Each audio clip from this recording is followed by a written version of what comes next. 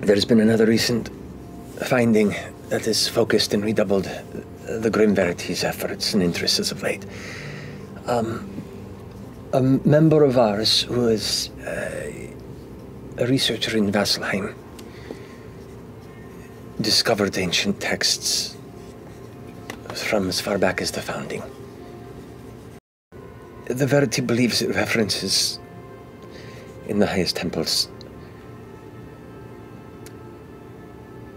that there is a time before Ruidus. There are texts where Catha was the only moon above. The other thing is apparently some of these texts refer to two gods that don't exist in the pantheon. What? And haven't since. Are they Forgotten deities.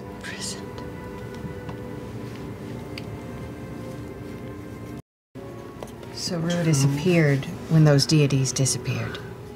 We don't have a specific timeline, but the texts seem to refer to a similar era in the founding, and we very much theorize they are connected somehow. What you are considering is possible. The ley rite, it's an apogee solstice, moving a ley line off into other planes of existence. Primordials are deeply attached to the same form of geomancy that creates ley lines. The names that are written in the Eldritch Battery are written to wake these things up. But you realize if they're written to wake them up, it can be those names can be used to summon them. And if it can be used to summon them, it can be used to banish them.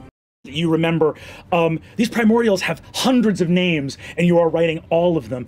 And it's as simple as changing this from moving a ley line into the astral realm to moving these primordials into the astral realm. Avalir descending.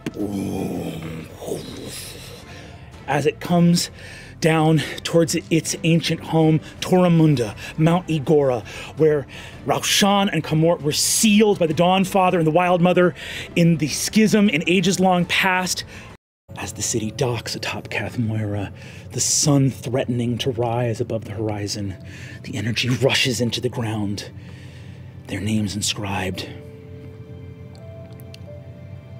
To break the ancient wards, to release primordials, a colossus of fire, a titan of earth, to join the betrayers and bring eternal torment to Exandria.